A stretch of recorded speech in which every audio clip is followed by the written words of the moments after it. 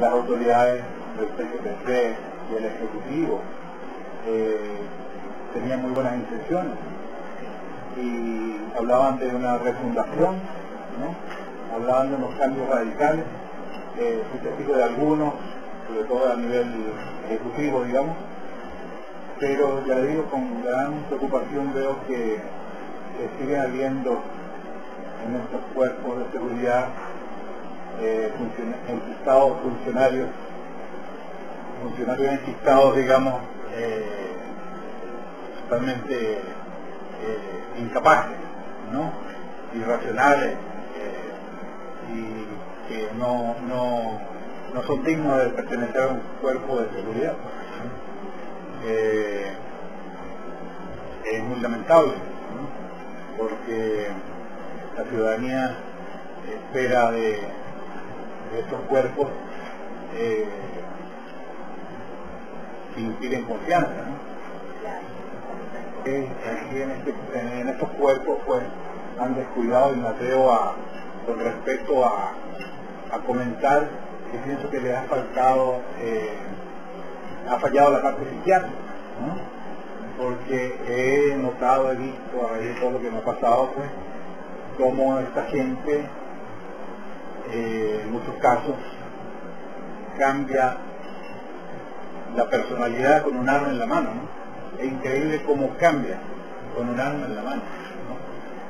Bueno, como digo, pues ahí la organización eh, está fallando, ¿no? O sea, como un jefe puede dar ese ejemplo. Eh, por eso le digo que es cuestión de base.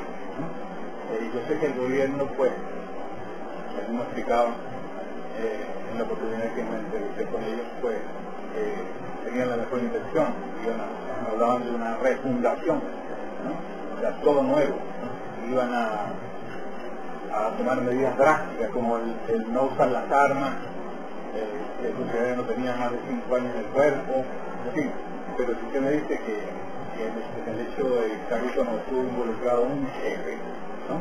Imagínese usted, eh. Cuando usted insistió en la venta de esta sentencia, ¿le trajo recuerdo? Sí, no duda, me, me trae recuerdo y me espera la situación, ¿no? Eh, que siga, que siga en Venezuela existiendo este tipo de, de, de atrocidades, de, de abusos policiales. ¿no? Eh, y claro, eso se los cobra la, la comunidad, no les creen, no, no, creen en ellos. Eh, entonces, muchas veces, cuando les suceden casos de gente indeseable, ni siquiera reportan, porque no saben si es peor reportar. ¿no? de esta categoría que sea confiable. Yo recuerdo que en, su oportunidad vino a hablar personalmente conmigo y nos reunimos en el Core 3, eh, el director del en ese entonces y el subdirector, Canadí eh, Ramírez y Carabín, o Carabín, algo así fue, los dos vinieron.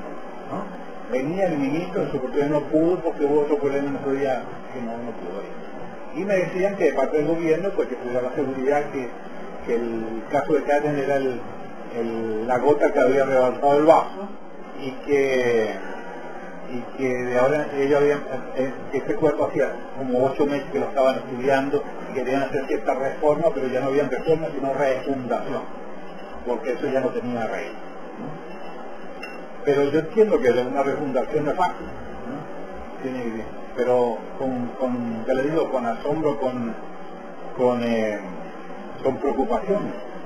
Veo que siguen los casos, veo el caso de Cabina, el caso de Falcón, ahora el Carúpano, eh, casos que increíble que se asemeja mucho a lo que le pasó a mi O sacan el arma eh, sin pensar lo que hacen y disparan a lo loco, eh, con una actitud demencial, diría yo. Demencial. O sea, ¿y eso qué es? Falta de preparación deben haber evaluaciones psiquiátricas permanentes. Yo no soy nadie para darle consejo a ellos, por supuesto, pero pienso yo que eso debe ser así, como existen en otras partes.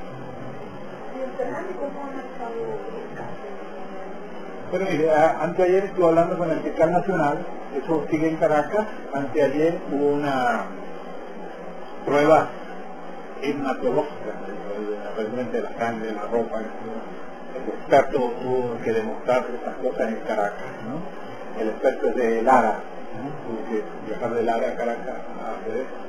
Eh, sigue, pero yo le he preguntado al fiscal, mire, y esto me dice, no, me dice, eso falta mucho todavía.